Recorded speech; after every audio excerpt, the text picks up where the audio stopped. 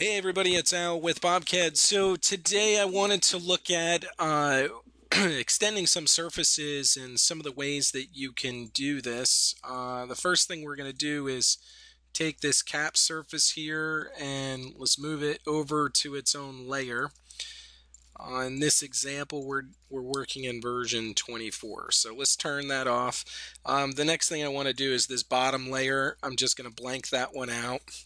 Um, from here, let's see, what I want to do, if we look at this, we can see there are different, um, there's different draft on these surfaces, okay?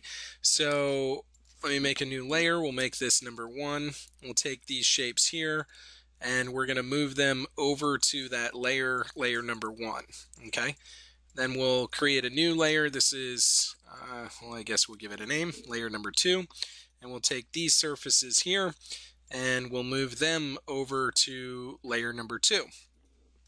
All right, and then we'll create a new layer, layer number three, and finally these surfaces will be moved over to layer number three.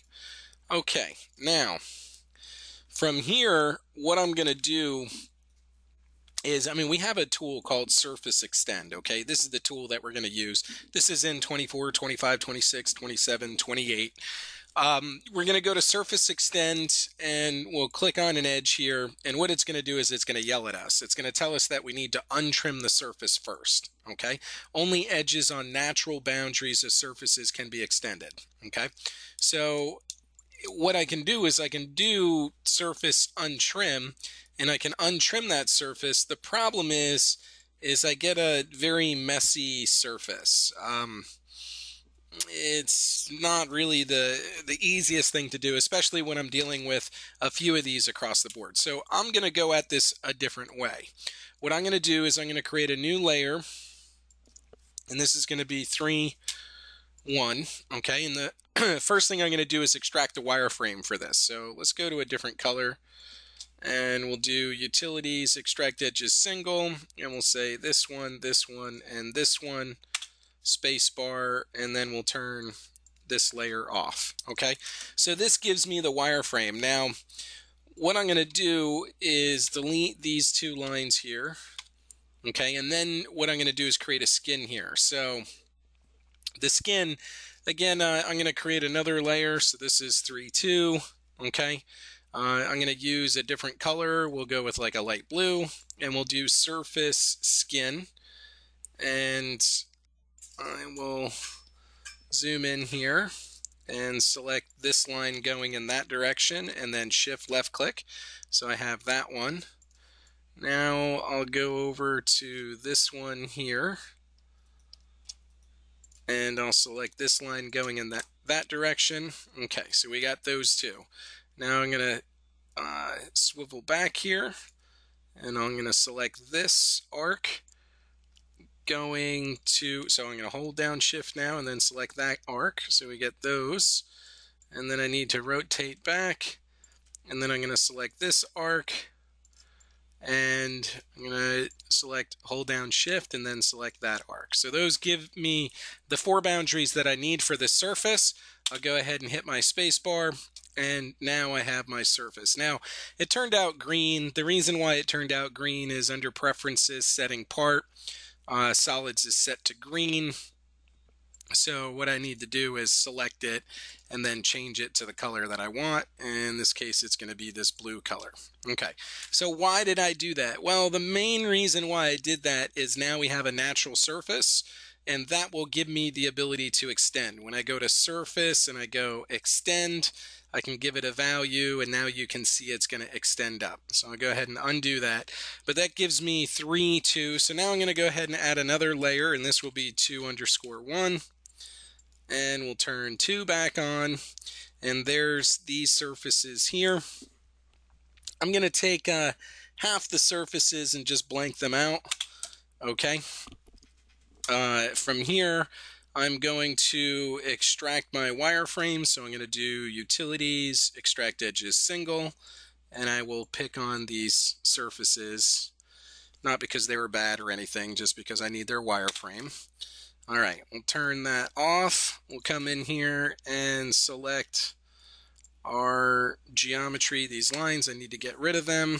We'll make this a new layer, 2 underscore 2. We'll make it active.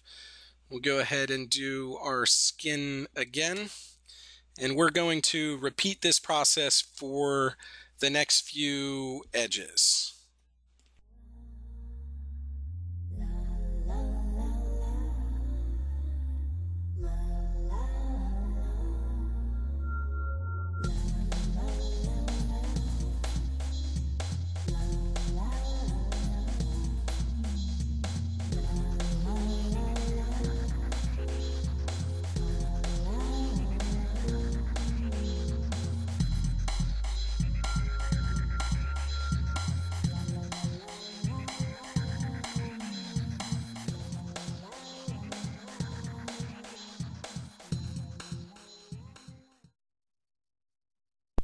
Okay, now we have all of our surfaces created. So 1, 2, 2, 2, and 3, 2 can now come back up.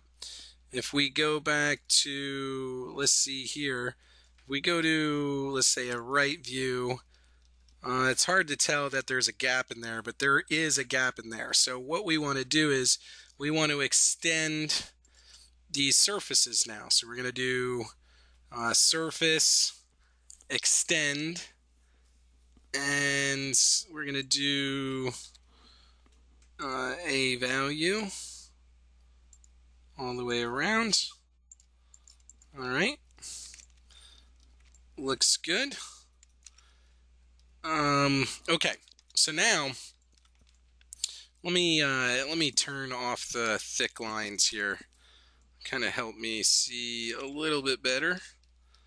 And okay, so the next thing that I want to do here is I want to take my top surface. And right now you can see that the top surface is intersecting these other surfaces. Well, it is to a degree. Not as much as I would like it to, because I'm going to add them all together and trim away what I don't want. So I'm going to unstitch, or I'm sorry, untrim this surface and then I'm going to extend this surface around on all four sides. And then from here, I'm going to turn all my surfaces back on. Okay, now I'm going to start adding them. Solid add. Add this surface to that surface. Add this surface to that surface. Add this surface to that surface. And add this surface to that surface. Now when I do that, it creates a cut line where the surfaces intersect. So I can untrim my surfaces. It did say something dropped, which is okay. It, some of the surfaces that I didn't want dropped. Uh, I can select this top edge now. And what I can do is I can go around and select those surfaces that I don't want. And that is where we're at here. Uh, we have now made a change to the thickness of that surface. Um, the last thing we can do is unblank um, that bottom surface there and now we've extended our surface and changed the thickness of this. Now this was done in version 24. Um, doing it in a more current version you'd get more previews and a little more options that might make it a little bit easier uh, but generally um, with geometry like this uh, to extend surfaces that have uh, different tapers. Uh, methodology very similar to this would be used in the current version. So hopefully you guys were able to get some good information out of this. If you have any questions, comments, or feedback, please reply back to the Facebook, the YouTube, or whatever thread this video may be posted in.